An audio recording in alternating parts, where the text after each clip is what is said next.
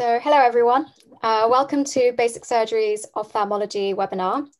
Um, sorry for the brief hiatus that we had, but we're back and we've got a new lineup coming uh, this month and so in the next few everyone. months. Uh, welcome to Basic Surgery's and Ophthalmology. One thing that I would like to um, sort of point out before we start is we have, first of all, the wonderful Camille and Hasan here today. Um, they are both ophthalmology registrars. Um, so we're going to include some MCQs um, in the webinar. So we've got the link coming up for that very soon. Um, and if you do have any questions, then please don't hesitate to use the Q&A function that we have on both Zoom and YouTube. Um, so without further ado, I think we should start. Thanks, Ratuja, for the introduction. Um, so my name is Hasan Naveed. I'm an ST5 uh, based in Royal Surrey. I'll be taking you through some questions at first. So, so the first question we have is a 63-year-old right-handed um, woman. Sorry, uh, do you mind going on to the previous slide so people can log in on Menti? Sure, sure, sure. Thank sure. you. Uh, so we've got the QR code and I'm putting up the link if you want to use the link in the chat function for you to log on to Mentimeter.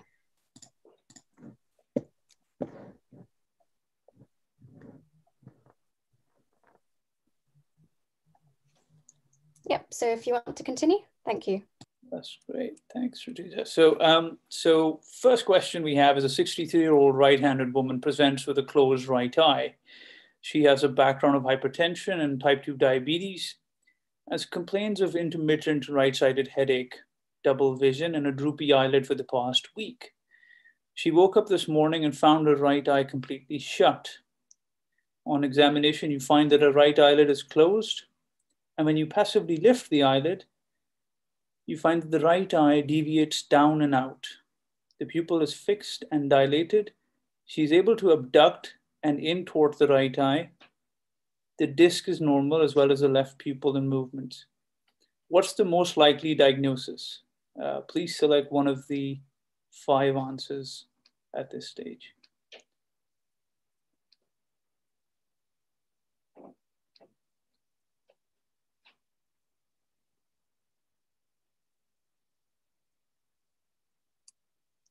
Perfect. Moving on to the second question. Uh, we've got a 30 year old male that presents with chronic lower back pain.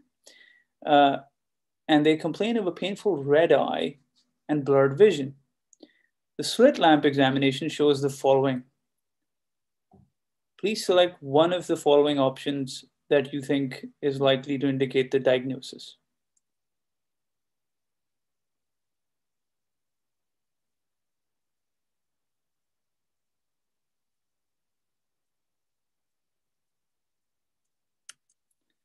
Question number three, we've got a 29 year old that presents with a foreign body sensation, painful right eye, and it's associated with photosensitivity and blurry vision.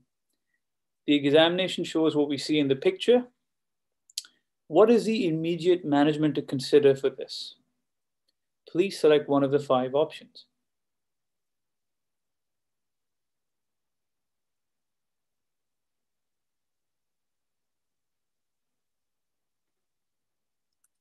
Question number four.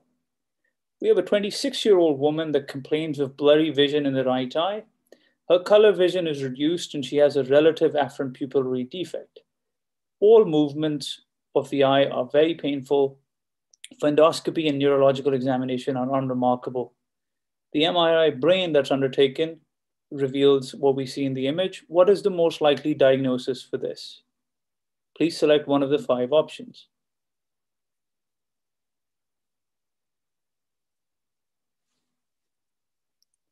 Excellent. Question number five, we've got a mechanic that presents to the eye casualty department with severely photophobic and a hyperemic right eye. A chemical has splashed into the eye. Which of the following substances is considered most dangerous to the eye?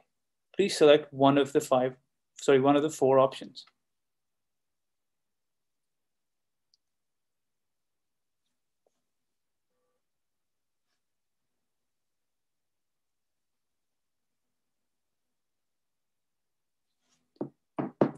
Fantastic.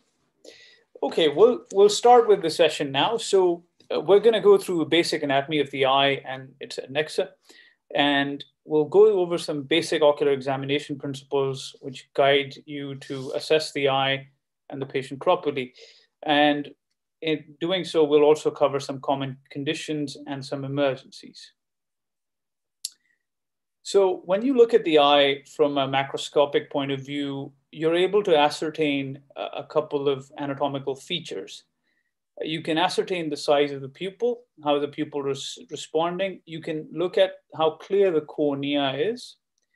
You can look at the white of the eye, which is covered by bulbar conjunctiva. But if you look at the image on the right, you can see that the conjunctiva actually sort of involutes on itself over underneath the eyelid and that is the palpebral conjunctiva. So it's very important that when you examine the patients, that you look underneath the lids to make sure that the palpebral conjunctiva also is not displaying any features which can guide your diagnosis. When you peel the skin off, you can see that there's a myriad of complexity that uh, the ocular structures exist in. And so a couple of features I want to point here from an anatomical perspective is the orbital septum first. This really is sort of a, a border for defining the pre-septal tissues and the post-septal deep uh, orbit, which where more delicate structures are present. Also, if you look at the right side of your screens, you'll see that medially, there's a lacrimal system that's present um, uh, close to the eyelid. And, and so if there's any lacerations or anything, you have to be very careful to preserve this, and, and it requires more attention. The ocular structures are housed in the orbit, uh, which is comprised of seven bones. Um, and essentially, it's a pyramidal structure with a roof, a lateral wall, a medial wall, and, a, and the floor. The thinnest wall is a medial, uh, and it's important to consider this particularly with core pathology such as sinusitis, which can have effects on the eye and referred uh, pain and, and other symptoms as well. This is a cross section through the uh, orbit, and what you can appreciate is that the globe actually sits quite anteriorly in the anterior third of the orbit. The rest of the structures are sort of, they get more and more compressed. So any pathology would cause compression and uh, have an uh, impact on the patient's visual um, perception. The other thing to note here, uh, the reason I've put this image is I want you to notice the superior muscle, which is the levator palpebrae superioris. Now this is one of seven muscles that are under voluntary control, okay?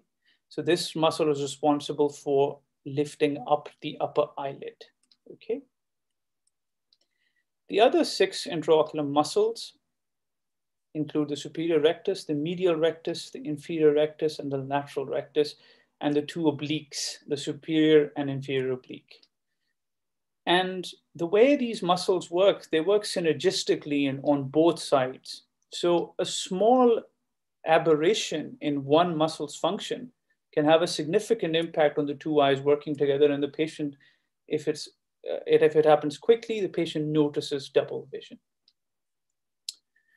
When we look at the globe, the globe essentially, the anatomy is divided into your anterior segment, which is lens and all the structures anterior to it, and the posterior segment, which is basically behind the lens.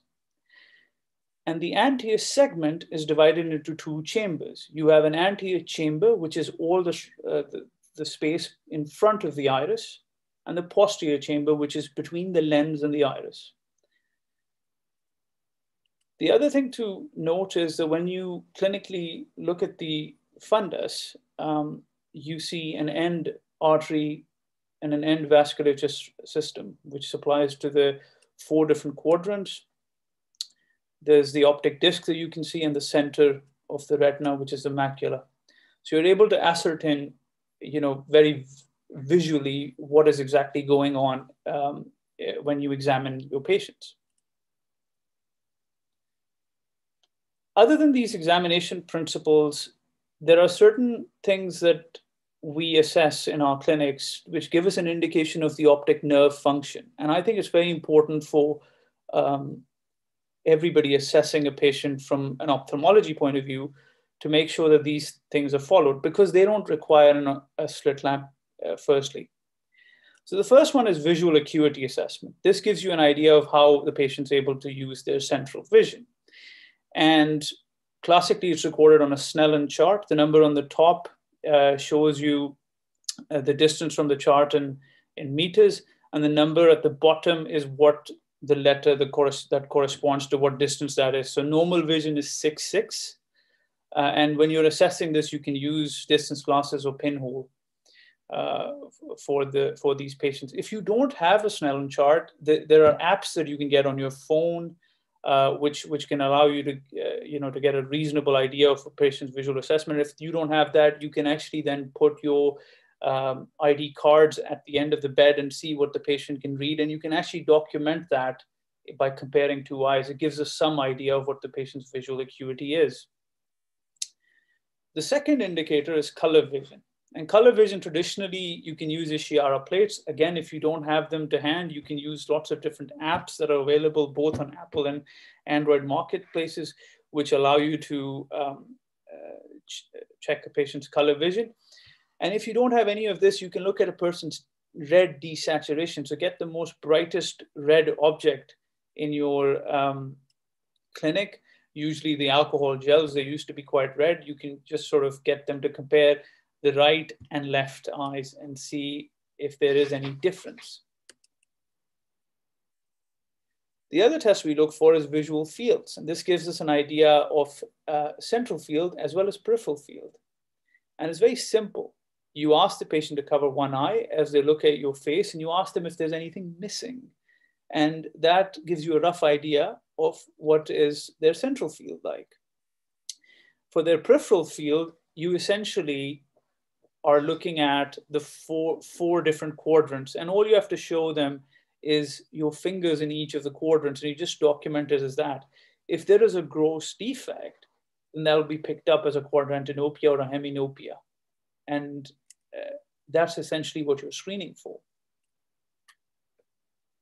The last and the final test, which is very important, is to look for pupil reactions.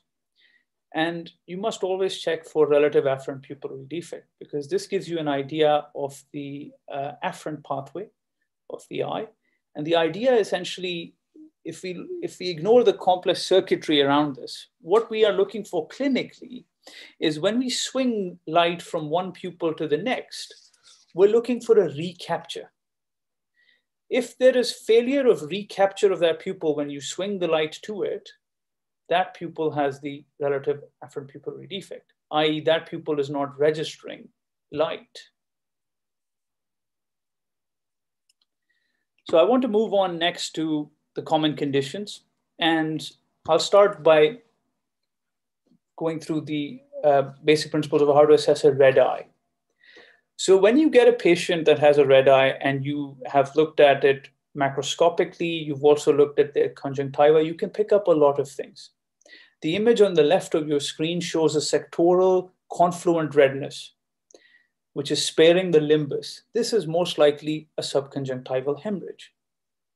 Whereas the image on your right displays fine vessels, lots of hyperemia, but when you look underneath at the uh, palpebral conjunctiva, you notice that there's this thick exudate. This is a membrane that can be associated with certain conjunctival problems like conjunctivitis and so forth.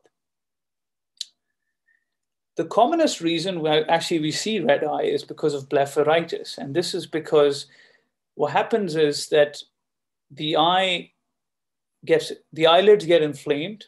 And as a result of the inflammation that is, that, that, uh, is in the palpebral conjunctiva, you actually see it getting transposed onto the bulbar conjunctiva as well. So the patient will have a red eye, gritty eyes, itchy eyes, and this is a chronic problem. Some patients may have acne rosacea associated with it, but the management for this is very simple. You ask these patients to use lid hygiene, uh, where they actually scrub um, using baby shampoo uh, the, the lashes. And they also when there's when you've got clogged glands, as you can see on the top right of your screen, um, if you have clogged glands, you ask them to use sort of warm compressors and massage to sort of express these glands. In some cases, this doesn't work, in which case we have to then consider Fucithalmic uh, ointment and also some, in some cases oral antibiotics. And to comfort the patient's eyes, we consider lubricant drops. Sometimes blepharitis can get complicated. So blepharitis can cause uh, changes in your uh, flora of your of your eyelid and, and and can result in conjunctivitis. So you will have discharge. If you have unilateral redness with discharge, uh, and if you look at their um, palpebral conjunctiva, you'll see certain coalesctions, as you can see here. These are papillae, um, and this is pathognomonic for conjunctivitis. Now, conjunctivitis is essentially inflammation or, or infection of the conjunctiva, but this can also be viral. And the way to dis, uh, discern between them, there's a couple of things you can look for. In a viral, the patient will have peri or, or preauricular um, lymphadenopathy. Um, if you look at their palpebral conjunctiva, you'll see these little fine raised lesions called conjunctival follicles, as opposed to in bacterial, which you saw, which were a bit more um, a bit more denser. So they're, they're called papillae. So you can uh, sort of gauge the difference between the two. Viral is almost always bilateral. And it looks really bad, but it's rarely, rarely a serious cause for concern because it, it, it goes through its own course. You give them supportive treatment with lubricants, but you don't have to um, sort of manage it sort of more invasively unless they develop membranes or are not responding to that treatment. Another time when you can get bilateral conjunctivitis is with allergic eye disease, when the eye is not happy with an external um, uh, sort of um, allergen. And in, the, in these patients, when you look underneath their, um, uh, again, underneath their palpebral conjunctiva, you will see that they have extensive papillae. And this can be really problematic for some patients, but some patients, this just, just a seasonal thing and it goes away with some antihistamines. If it is very severe and not going away, then we, in our ophthalmology clinic, we consider steroids for this. But from a perspective of seeing these patients in A&E or seeing them on your wards without ophthalmology, I would not urge you to consider steroids at this stage. For some of these patients who have red eyes, they will have an additional feature of photophobia. And this can indicate the involvement of cornea. So when you stain them, you can see these little fine erosions uh, as on the right side of the image. So on the left side, you can see it, it, will classically look sort of mildly hyperemic, but actually when you examine them, they're significantly uh, staining and, and hence uh, there's a lot of photophobia. If it's associated with allergic eye disease, these papillae that you can see, they can rub on the surface of the cornea, causing this sort of uh, features as well. So it's important to treat the cornea as well. And usually lubricants suffice with, um, with allergic eye disease. But for a bacterial um, disease, when you give them antibiotic drops, they will treat the surface of the eye as well. Now, very rarely, you can get cases like this as well, uh, where there's been photophobia, but when you look at the cornea, it's got what what basically looks like an opacity. It's this is this could be an abscess in the front of the eye, and it stains. And on the right, you can see uh, where you can see this fluid level at the bottom. This is basically a hypopyon. Pus has sort of settled inside the anterior chamber. So this needs to be treated aggressively. And where you will exercise caution is in contact lens wearers. So if you see an if you see an abrasion or a or a ulcer in a contact lens wearer, you always have to make sure uh, that you treat them slightly differently. So we use um, fluoroquinolones, uh, as fluoxetine or levofloxacin, um, and this is because contact lens wearers, you know, they they're more likely to grow pseudomonas species. Also, you must always ask your contact lens wearers that have they been in touch with a water body recently? And this is because you want to rule out any risk of acanthamoeba. If it is the case, then that requires prompt referral to your ophthalmology unit because that needs to be uh, treated with a, with, with a different, different treatment, really. Uh, and also diagnosed uh, using confocal microscopy in most cases. So it's, um, it's very, very important uh, that you don't miss your contact lens wearers uh, um, pathologies and they're treated aggressively, basically. Otherwise, you can also get uh, bacterial keratitis associated with bacterial conjunctivitis in severe cases. And common causes include uh, your strep bacteria, staph, and pseudomonas, as I mentioned in the contact lens wearers. So in the ophthalmology clinic, we do corneal scrapes to identify the pathogens. And we initially start intensive treatment, but then we tailor it down depending on how they're responding. Steroids, for all intensive purposes, should be are contraindicated in keratitis and should not be considered uh, when you see these patients uh, without any ophthalmic input. Sometimes you can get photophobia uh, in a situation where you know you'll see this sort of scant staining. Now this is showing a very classic sort of fine uh, linear sort of staining on the surface. Often this is very very subtle, so you have to examine the patient's um, buccal area to sort of see if they've got any vesicles and this classically indicates herpetic keratitis.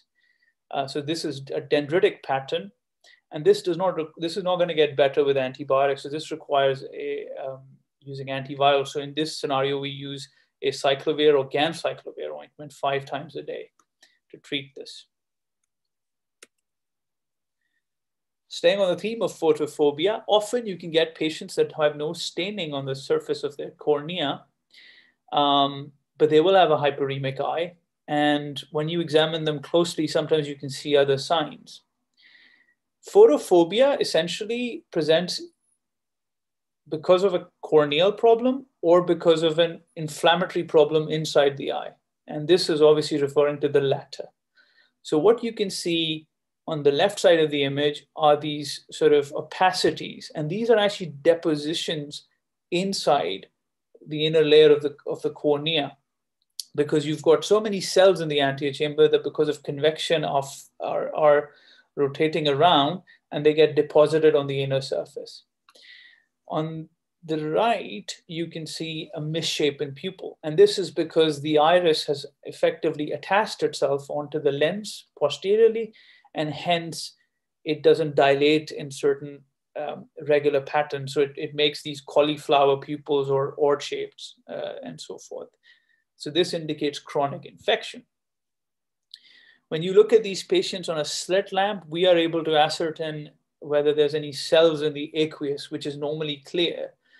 Um, and the reason for this is because the vasculature of the iris is normally um, not fenestrated, but it, because of inflammation, it leaks these cells, and these cells therefore are seen. So ophthalmology is a very visual specialty, and on the basis of pattern recognition and certain visual signs, you treat patients uh, appropriately. Acute anterior uveitis, the other classic telltale sign of that is the circumciliary injection, as you can see in the image in the middle. Um, and the the elements that get sort of deposited in the top right image are keratitic precipitates. The treatment for these patients usually is commenced through the ophthalmic clinic, and it's important that we measure their pressures as well, because certain of certain patients, when they get started on steroids, they have a pressure spike. So it's very important that we they're promptly referred urgently to uh, the ophthalmic clinic. I just want to briefly cover sudden loss of vision and other conditions where you not, don't necessarily get a red eye, but there is loss of vision. So if you get unilateral loss of vision, it's very important to ascertain what, what the time scale is. Was it certain, did it suddenly happen? Did it happen over days? Did it slowly happen? Did it creep into their visual field? It's very important to elicit how did the visual loss happen. So if you get a sectoral loss, which lasts for a few um, uh, minutes to, to, to an hour or so in a patient that has vascular risk factors, you have to think of amaurosis fugax. So it's really important that you're, you're treating it, that patient as a TIA. So they have more risk um, systemically if, if left untreated. So these patients are often co-managed by the TIA clinic as well as the ophthalmologists who look at the back of the eye and make sure there isn't any damage done at the back of the eye.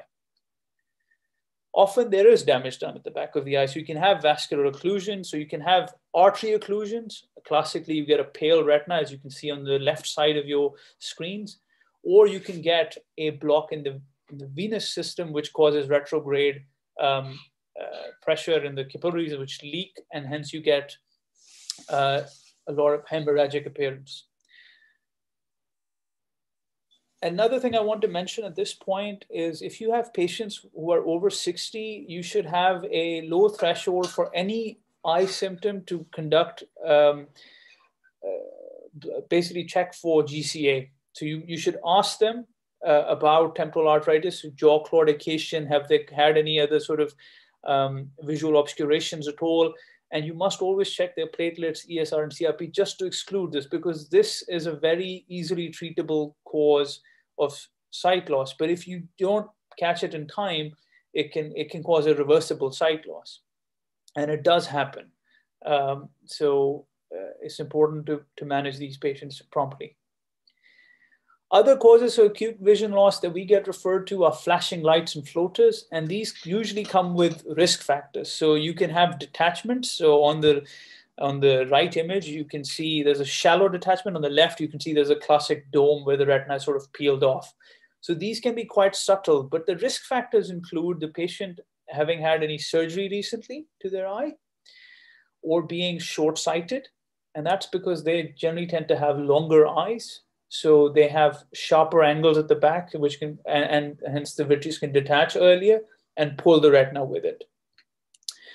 Um, and, and the other sign is that um, uh, is, is, is, age as well. So you have to consider those three, okay?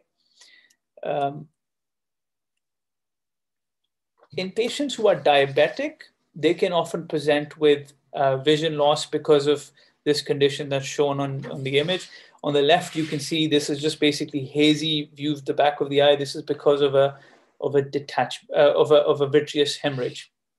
And it on the right, you can see this being shown on the ultrasound scan. So you can see uh, this density in the in the posterior segment. And for these patients, if you have a vitreous hemorrhage when they have a history of diabetes and they've previously been treated for diabetic retinopathy, the cause is almost uh, always uh, uh, this. But these need to be referred to the ophthalmology clinic within a week or two, normally, if they have diabetes.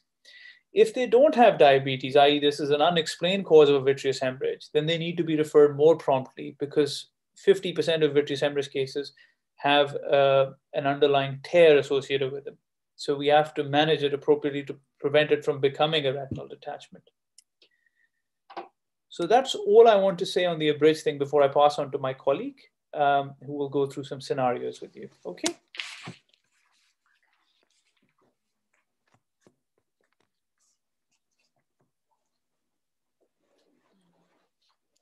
Hi everyone, I'm Camille. So I'm going to go through some very interesting scenarios, some a bit more basic than others, um, but you will all um, come across them at some point, probably in A&E if you do rotate through there. Um, so the first scenario, um, I'm going to say a 50 uh, year old uh, female comes to you with acutely sort of a painful eye. It's very red. Um, it woke her up in the middle of the night with this the worst headache she's ever had, and she's had associated nausea and uh, vomiting. Um, so I'm going to give you a little pause to think. But um, so this case is sort of a, a classic case of an acute angle closure glaucoma. And it typically does occur in the middle of the night because that's when the pupil dilates when it's dark and then the angle gets um, blocked up. Um, so patients typically present with reduced vision, a hazy cornea, and the pupil is fixed and mid-dilated. Um, it typically occurs in sort of females, um, Asians, and those who have sort of shallow anterior chambers. So that would be the opposite to what you would see in an open angle glaucoma. So if you think that, or oh, the angle is close, it's quite a very small eye, and they tend to be hypermetropic. So these cases need urgent ophthalmic assessment. So we treat them in the initial stages um, with IV acetazolamide to try and reduce the pressure and topical treatment with um, glaucoma drops and topical steroids. And they'll also need an urgent um, peripheral iridotomy. So we make with the, with the laser a little hole in the iris to create another uh, drainage pathway.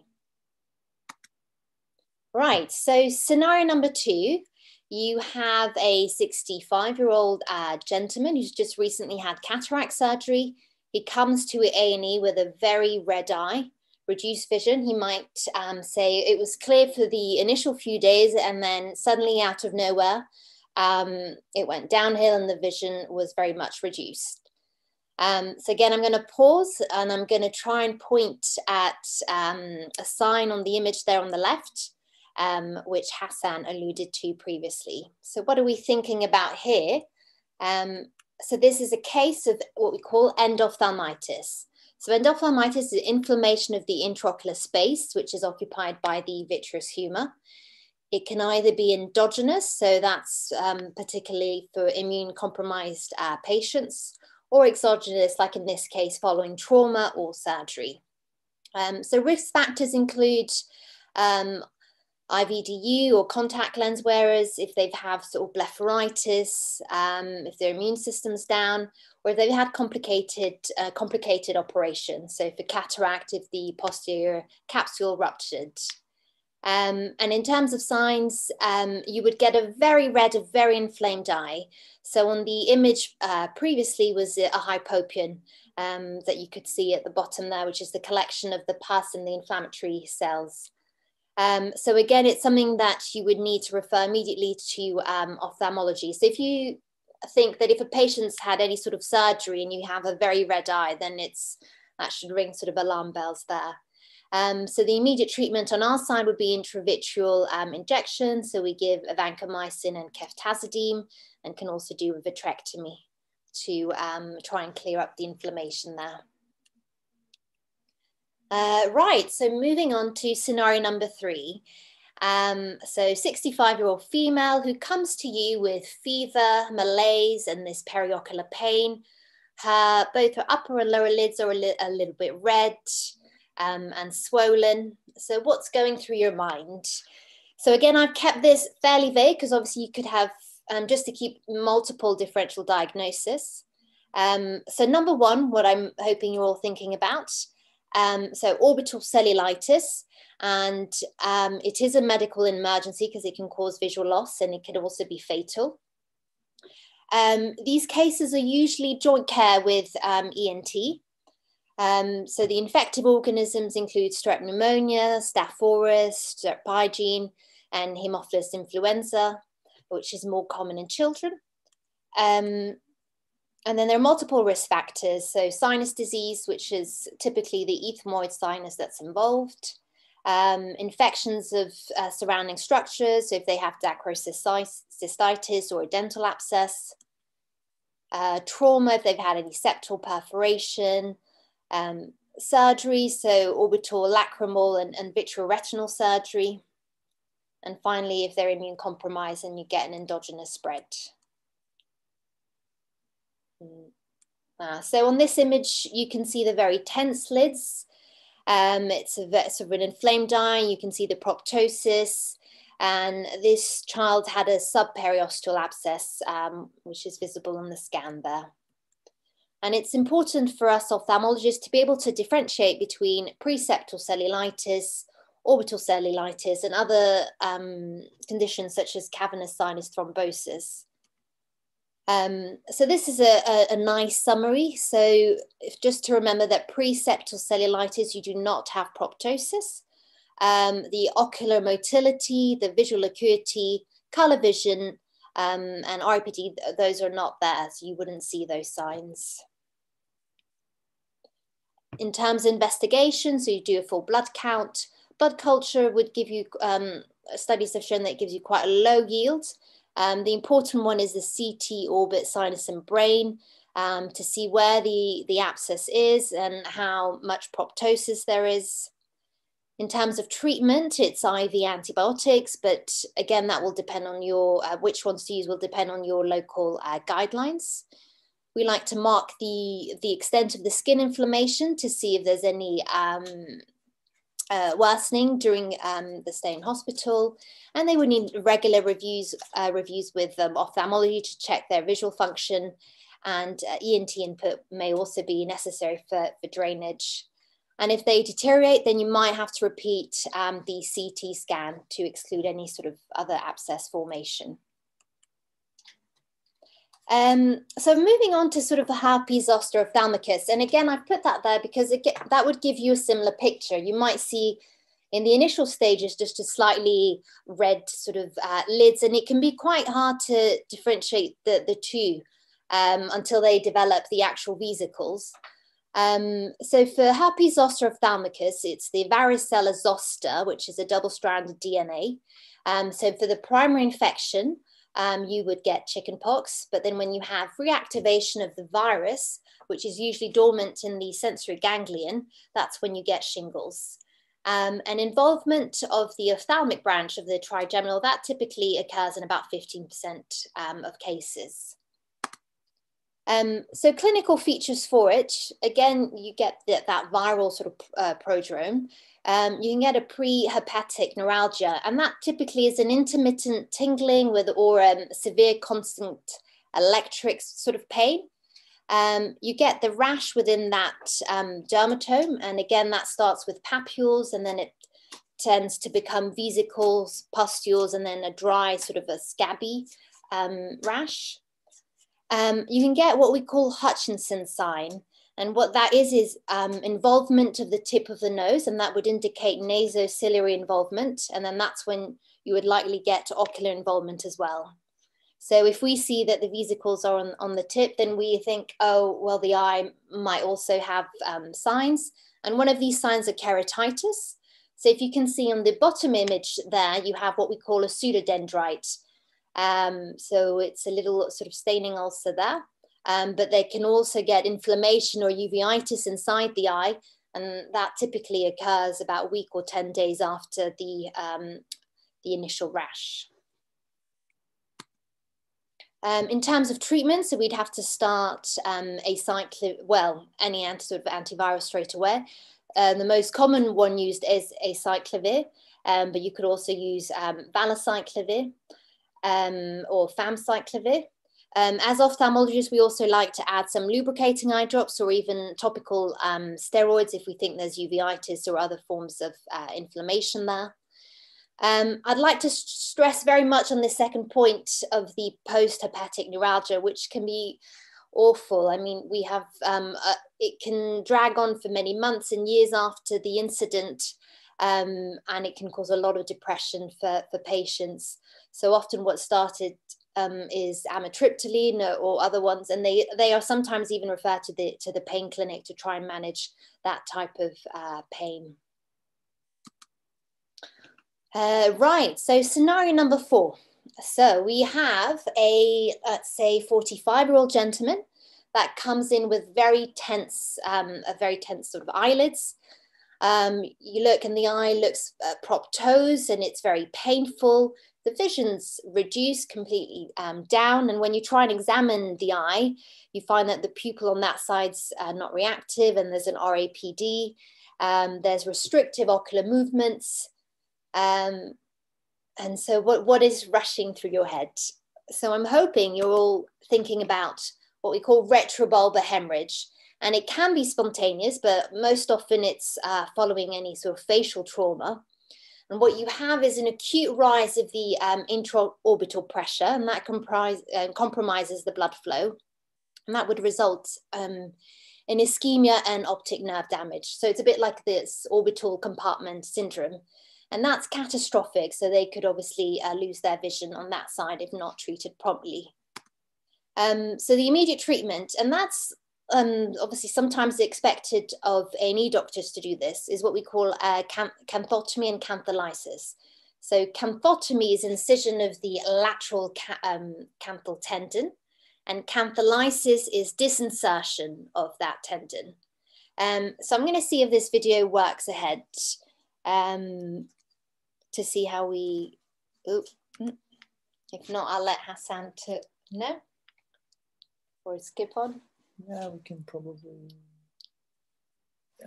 What I might do, because I don't want, otherwise it'd be a gap. We, we might show it at the end.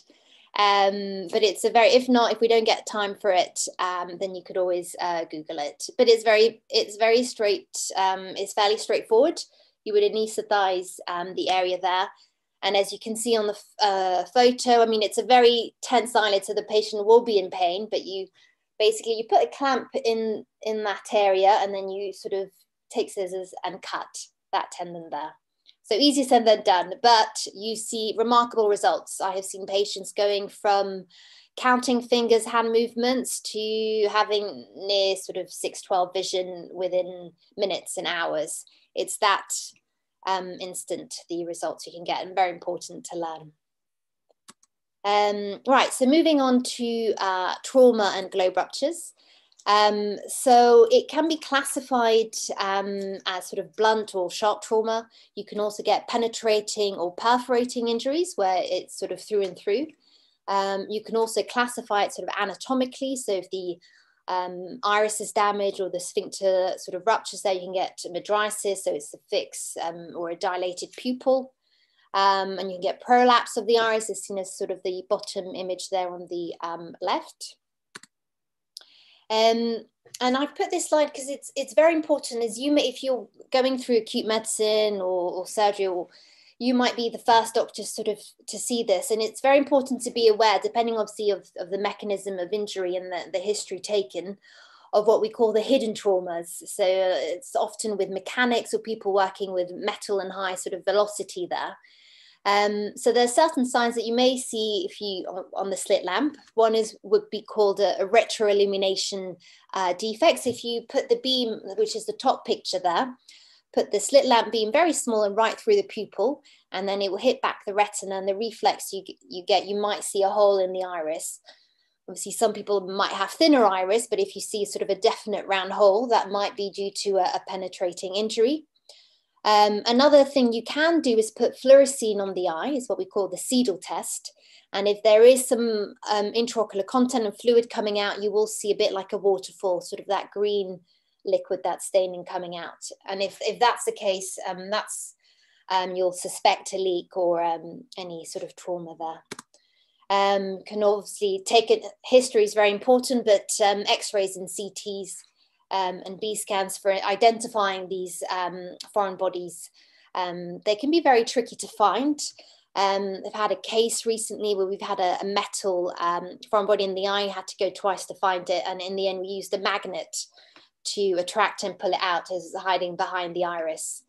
So yeah, quite tricky little uh, things. Right, moving on to uh, chemical burns. Again, this is very important. Um, I'd say take home message from this slide, or if uh, anything you should remember is that for these cases, treat first and ask questions later. Um, these injuries are one of the most destructive of all um, trauma injuries for the eye, and it can occur in domestic, industrial, and, and sort of military settings. Um, and the alkali injuries are the worst ones because um, they cause this liquefactive necrosis and they penetrate the eye a lot deeper than the acids. Um, so patients would typically present with pain, a very tearing eye, and they'll tell you they've had maybe sort of a chemical splashed in. Um, in terms of signs, um, Hasan's mentioned before of how you can pick up staining. Um, but I'll just like to highlight you've got to be aware of, of the absent staining, and that's the case when the whole of the epithelium is missing. So it's actually staining the whole thing, and you might think, oh no, it looks fine, but actually that's because of the whole um, epithelium's gone there. And also be aware of the white uh, conjunctiva because that would indicate ischemia, um, which is not a good sign. So we actually prefer a red eye after a chemical injury. That's better um, than an, an absolute uh, white eye there. And obviously irrigate, irrigate, irrigate till you get um, the right pH. Just to remind you that um, the sort of pH of tears can be slightly alkali, so of 7.4. So it's good to compare with the other eye. So um, just to, to, to, to, get a value there. Um, oh, that was another video. Oh, shall I press? Did you put that? I don't think it'll play, but anyway, we'll go, we'll put the videos at the end. I think you can try Oh, shall I try? Trying control or shift and then clicking the link, maybe? Yeah, we'll have to then share the, right, so bear with us. Hasan is very much my, if not, well, it's a, it's a video done by one of my um, consultants in Brighton. and lateral wall of the orbit as shown in this video can be decompressed. Periocular ecchymosis can be seen and it's a lot harder than done obviously shows extreme when the eyelid is very tense there. Pulsation, with the vein almost winking as outflow is choked. Minimal external pressure on the globe would completely occlude outflow. This patient is under general anesthetic, but this procedure may be done under local anesthetic with generous local anesthetic infiltration. The lateral canthus is clamped with an artery forceps and then cut along the crush line dividing skin and orbicularis towards the lateral orbital rim. This is a lateral canthotomy. The lower eyelid is drawn laterally and away from the globe with toothed forceps to put the lateral canthal tendon on stretch. Closed forceps or scissors can be used to identify the tendon. It feels almost like strumming a guitar string. It is then transected. This is lateral cantholysis. There may be a big egress of blood, as you see here, but if there is not, then the lateral canthus must be further opened. Initially, a small pad of fat called Eisler's pocket that sits between the lateral canthal tendon and the underlying orbital septum will prolapse. The septum can then be incised or divided to allow further orbital fat to prolapse and retrobulbar blood to escape.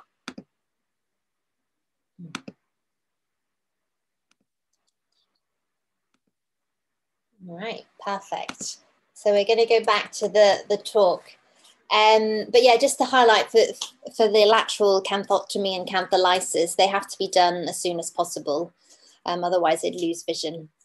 Right, so moving on, still in sort of trauma cases, um, but we'll talk about orbital fractures.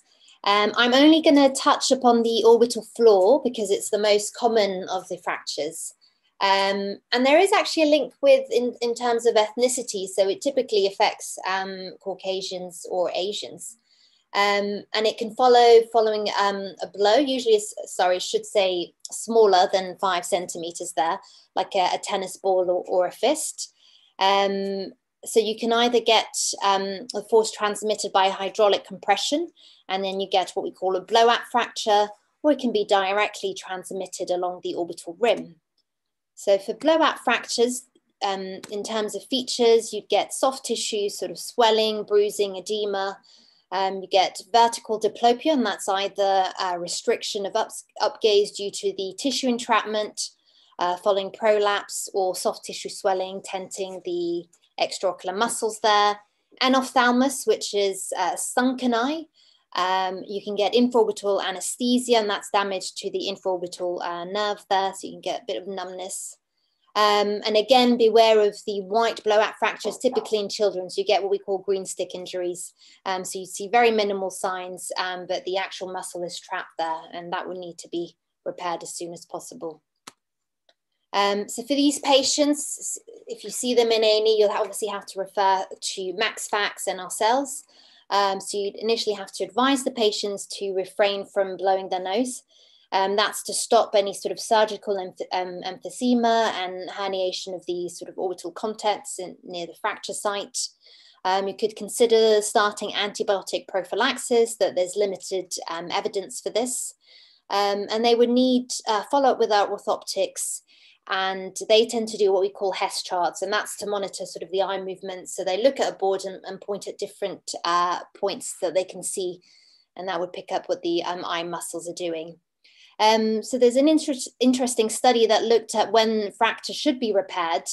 Um, they tend to be, I mean, depending obviously on the signs, if you've got any double vision um, or enophthalmos, they tend to be repaired fairly quickly within sort of two weeks. Um, but other fractures can easily wait um, a month and um, have very good results as well. Um, so scenario number five, we're, we're going now towards, um, I mean, it's still a very important topic, but more sort of uh, neurology related. Um, so you've got a, let's say 55 year old patient who comes in with a very um, miosis, which is a small pupil, um, a slight ptosis on that side, a sunken eye, um, and what we call sort of anhidrosis, so loss of sweating on that side. And so what's going through your mind? So in this case, we have what we call Horner syndrome, which is um, obviously a medical emergency. Um, so I'm just going to quickly go through that, the sympathetic pathway. So you've got what we call um, sort of the first order, so central lesions. And that the pathway goes from the hypothalamus um, to the cervical spinal cord. Um, and then you have second order, what we call preganglionic. And as you can see on the image, that goes over the pulmonary apex, and that synapses um, in the cervical ganglion. And then you have third order um, neurons or postganglion um, when it enters the cranium. So obviously, depending on the site of the injury, you will have different causes. Um, interestingly, so you would typically get anhidrosis only in first order and second order uh, neurons, and that's because the fibers separate out at the cervical ganglion, so before um, the third order. And the important one there I've got um, obviously underline is the carotid artery dissection. So if you've got any suspicion um, of Horner syndrome, then you'd have to do an, a sort of urgent neuroimaging, and that typically involves angiography. So either sort of MRA or a, a high resolution CTA. Fine. So we've this is the final sort of scenario, and then we'll go back to the initial questions. Um, so you've got a, a patient here who's come in with uh, pain, double, well, this patient won't have double vision as the eyelid is completely closed, but if they had only half a ptosis, they may get some diplopia there. Um, and if you do lift the eyelid up, um, you would see that the, as you can see, the eye is in a specific position and the pupil is also dilated. So what's going through your mind there? So that in this case, oh, and then this is how they may des- describe the headache. So it'd be the worst headache ever, or someone's kicked them in the back of the head. Again, this is a, a very important scenario. So, so in, it's a third nerve palsy, and that's very important because um, it can be the first sign of aneurysm of the posterior communicating artery, and unfortunately, it could also be the last sign of the aneurysm before you get before the you get a subarachnoid hemorrhage, and obviously, um, that can be fatal. Um, so it can be classified um, whether it's complete or partial, whether it's pupil sparing or pupil involving. Um, it used to be now it's slightly outdated that we were um, always concerned and only scanned whether the pupil was um, um, involved or not. So the, the, reason for that is that in compressive uh, lesions, the pupil will become very fixed and dilated due to the paralysis of the sphincter pupillae. Um, whereas in ischemic lesions, um, the pupil is spared. Um, and that's because in the outer fibers of the third nerve um, supply the ciliary muscles and the, the sphincter pupillae. Um, but now we don't uh, differentiate um, so much in terms of pupil sparing or involving. We tend to scan everyone. So you, we would order an urgent MRI, again MRA, and that would be to look for aneurysms, um, usually of the posterior communicating artery. Even though the most common causes are sort of microvascular ischemia, but if they come in with that um, pain and if you're suspecting a third, um, they'd get a, a scan there. And that's my alarm bell ringing. right, so in summary, so when to refer to ophthalmology, um, so obviously we've got some very specific um, injuries. So acute angle closure is very important. Chemical injuries, any penetrating or blunt eye injuries and endophthalmitis. Um, that will be an, an, immediate sort of uh, phone call to the ophthalmologist, uh, even if it's in the middle of the night. Um, in terms of more urgent um, referrals, that could be sort of first thing in the morning, um, unless it's been less than two hours. So the central retinal artery occlusion, there's very limited there's there is some treatment even though it's um, there's sort of limited evidence and it's not always successful but obviously the sooner it's done the better um, bacterial keratitis iritis giant cell arteritis um, i would say you'd have to start steroids beforehand do not wait um, to call us. You can do the sort of full blood count, ESR, CRP, and if you suspect it, um, then start the steroids. Um, yeah, even before any um, temporal artery biopsy or anything else. And finally, retinal detachment. Um, and so, in conclusions, do the basics with vision, color vision, fields, pupils. Uh, we would be very happy if you call us and you have those. I mean, obviously, fields can be a bit tricky, um, but you would make the ophthalmologist very happy there. And it's a heavily visual specialty. So I, if, if some of you are hesitating or not sure what, what to do later on, it's something I would, I mean, I've always loved surgery and, um, and what, I mean, I think an ophthalmology does offer, I think, incredible surgery um, and it is fascinating. So I'll advise you to, to have a look and, and play around with a slit lamp if you have access to them in A&E. Um, and yeah, think about your differentials for, for red eye and uh, visual loss that hopefully we've covered uh, most of uh, today. Um, so if you've got more questions, I think we, you can go to, to that link provided. Um, oh yeah, so we, we can now go back to the uh, questions. So question one, so get Hasan here as well if he wants to mm -hmm. participate. Cool. Um, Right. Do you want to go through them uh, yeah, uh, first? Okay. Go for it. So with, with question one, so uh, just to remind you, it was the 63 year old lady who came in with a background of hypertension and type 2 diabetes, um, double vision, droopy eyelid, um, and sort of a, a ptosis in the eye di- um, out, down and out there. So what did you think? Well, I might just give the answer there. So the answer there was a third nerve palsy caused by cerebral aneurysm of the posterior communicating, artery. Um, so it is a third nerve. So obviously it's got the classic features of the eye um, down and out there as the lateral rectus is sort of uh, working and pulling the eye.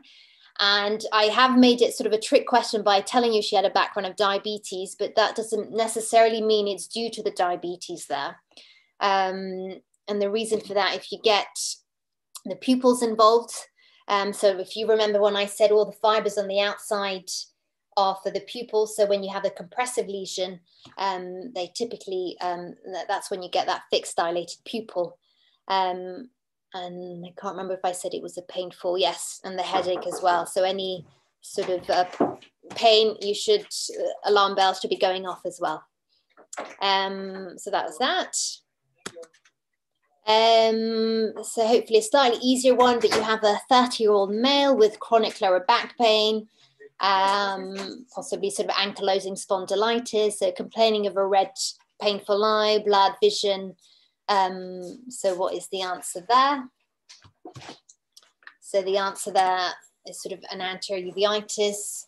So you can see the sort of keratic precipitates, that irregular pupil, um, on that side, uh, which is due to the posterior synechiae.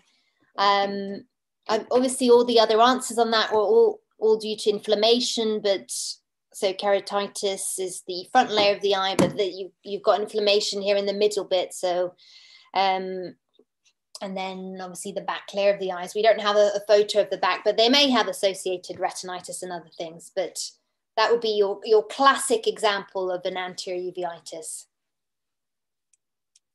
So this question was your 29 year old with that uh, linear staining. Um, and really what we wanted to know was what's the immediate management to consider.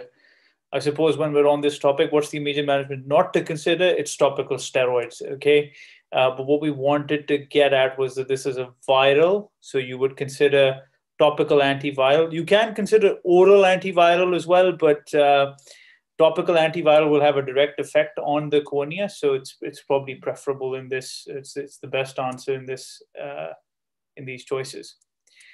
Um, the next one is a young lady that complains of blurry vision in the right eye, painful to move the eye in all positions. Uh, and fundoscopy neurological examination is unremarkable, but the MRI brain shows two lesions. So uh, the you know when in the in the scenario when you have an RAPD and you have uh, uh, an eye that's you know painful to all movements, the answer is likely to be optic neuritis. And, and this is sometimes uh, quite, you know, quite debilitating and requires, um, you know, we, we do send um, the referral off to the ophthalmologist, but there's very little that we can do for this. Um, you know, there is evidence for giving these patients um, intravenous steroids, but it only reduces the the uh, the extent of the um, symptoms they're having. It doesn't necessarily change any prognosis. So it's it's it's a very difficult uh, diagnosis to manage and an important one to know. This is uh, a chemical splash into the eye, and the uh, of the choices, what we want to know is if you can recognize which one of these fluids would be the most dangerous to the eye.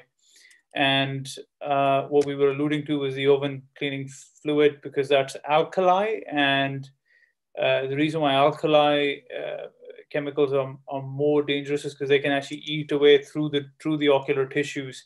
So, uh, so a rule of thumb is basically anything that goes into the eye, irrigate it um, until you've reached a, a pH that is comparable to the other unaffected eye. Uh, and that's what we want to get at. So um, thank you very much for listening to both of us um, and, and tuning in in the evening. Um, any questions for us? Uh, I suppose uh, you can probably pass to Rituja. Rituja, you can ask us. Or great. So um, thank you guys. That was fantastic. Uh, we do have some questions, um, both I think from junior doctors and medical students. Um, so the first one I want to present to you guys is um, a question alluding to if you're working in primary care. So if you're a GP um, and you see someone with uh, suspected acute closed angle glaucoma, um, what do you do in that situation, given that you are in the GP surgery? Do you want to do you want to go for it, or I mean, I would I would probably first thing is I would make sure that I am uh, confident or, or I have reasonable evidence that this is angle closure. So I would look for those features. So um, semi-dilated pupil, hazing of the cornea, and, and if the patient's probably had uh, cataract surgery, it's unlikely that they have angle closure. Uh, so that's an important thing to rule out. However, if I am confident that this is angle closure and I need to manage it, then you you can call your ophthalmologist uh, who's on call for immediate advice because they can advise you what to do.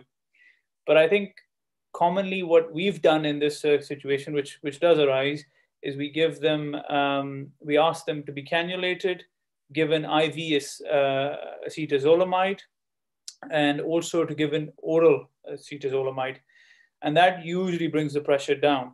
Uh, and uh, once you've got that in the system, you can probably transfer the patient for further management in the nearest A&E or the nearest ophthalmic unit. But uh, definitely, I would say get on the phone and ask us for advice because we can tell you exactly what medication to give and when to give. Yeah, and I think mo- most units have um, eye casualties in the daytime. If if it, if that's the case, to discuss or be seen straight away. Um, I think obviously putting cannulas and having access to acetazolamide, which is uh, often called Diamox, can be difficult in sort of primary care.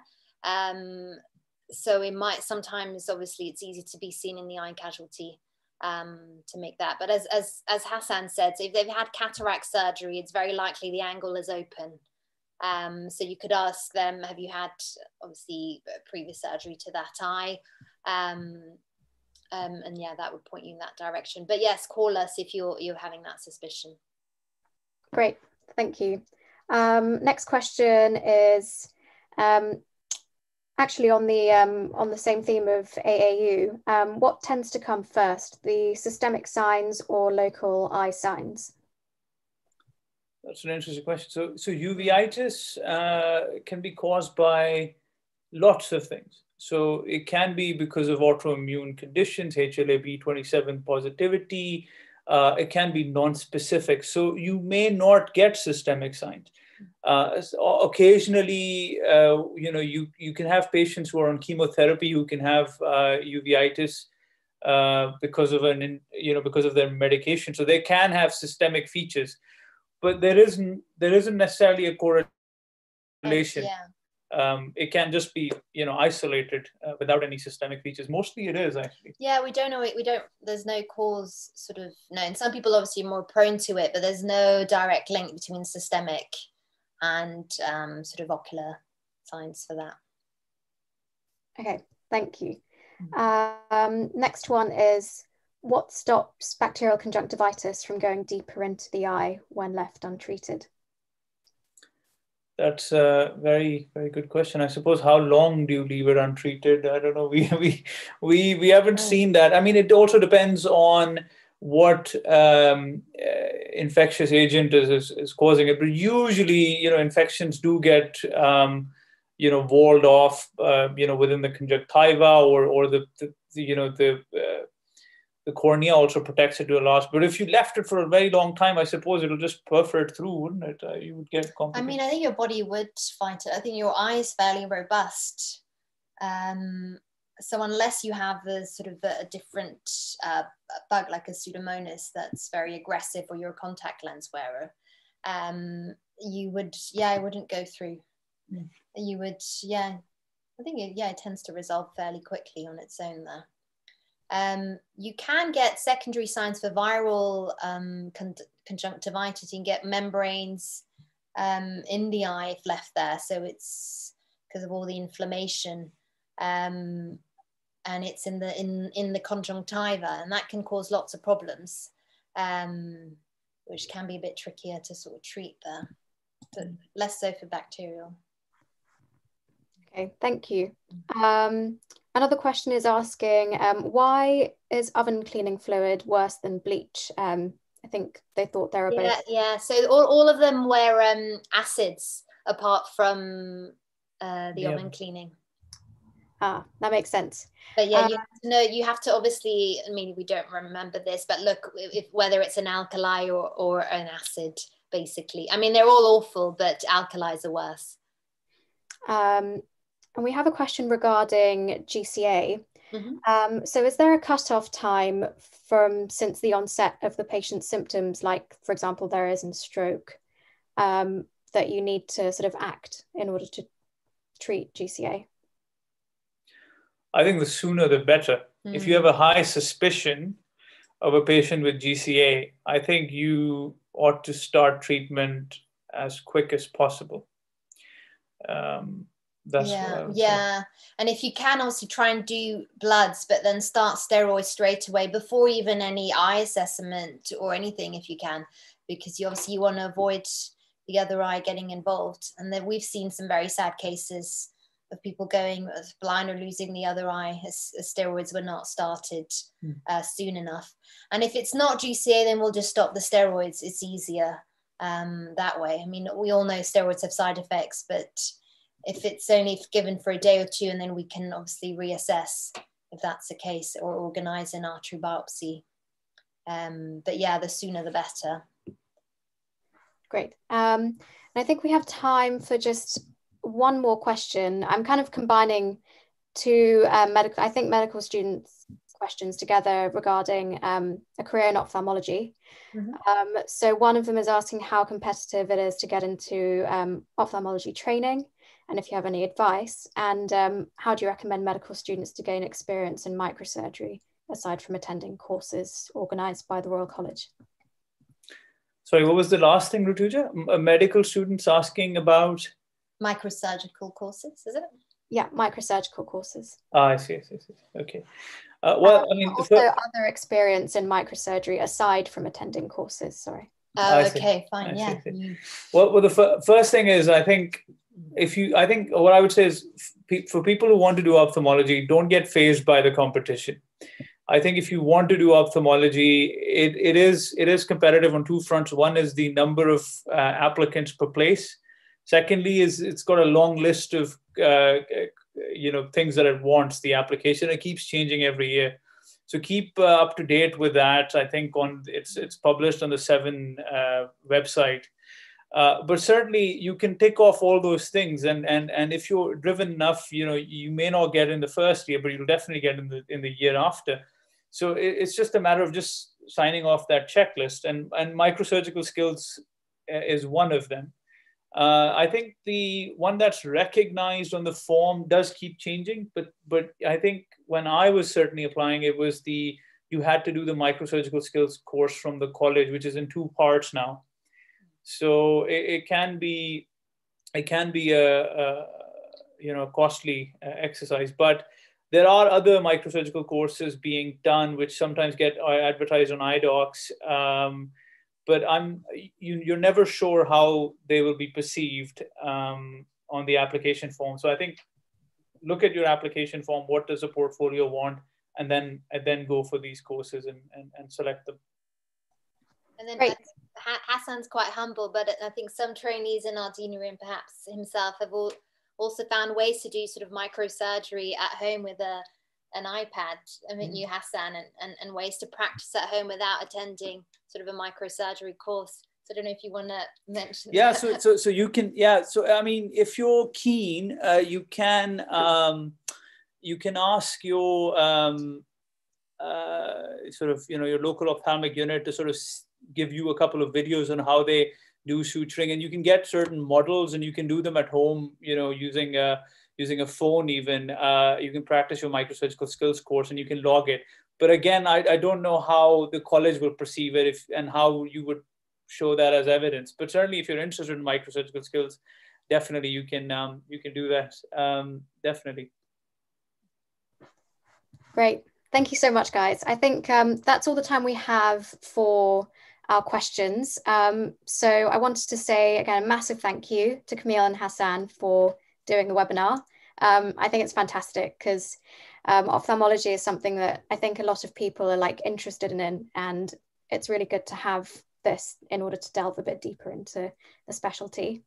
Um, and thank you, viewers, for again um, attending another webinar. Um, a couple of things to mention is that we're going to have our 2021 lineup coming up very soon. If you want to hear more about that, then obviously follow our social media channels or um, subscribe to our mailing list and you'll get some more information about that very soon. Um, and secondly, at the end of the webinar, um, you will have a page pop up with a post-course questionnaire and on completion of that, you'll get your certificate of attendance. So don't forget to, um, to complete that in order to give us any feedback about any good points or any things that we can work on. Um, and yeah, I think that's all from me. So thank you again, guys. Thank you, Natija. Thank you. Thank you so much. And have a